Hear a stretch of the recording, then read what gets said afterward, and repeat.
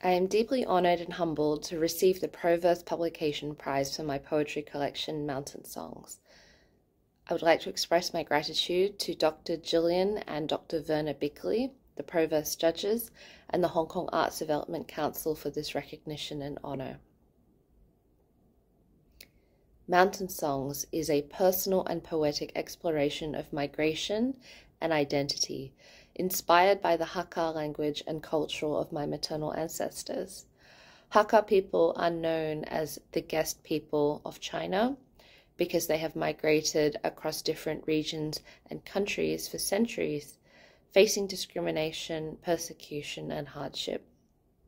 One of the ways they have preserved their distinctive traditions and oral histories is through mountain songs or sango. My book is a tribute to the creativity and resilience of the Hakka people, especially women in my family, whose stories have been passed down to me in fragments and anecdotes. I wanted to give them a voice and a place in history, to honour their struggles and sacrifices, and to celebrate their achievements and contributions. I also wanted to reflect on my own identity as a mixed race individual who was born in Australia and living in Hong Kong, and how migration has shaped my own sense of belonging.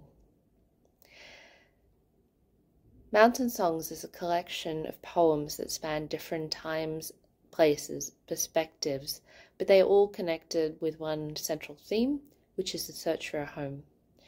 Whether it is a physical home, a cultural home, or a spiritual home, I believe that we all have an innate desire to find our place in the world, to connect with others who share our values and visions, and to place and express ourselves authentically and creatively.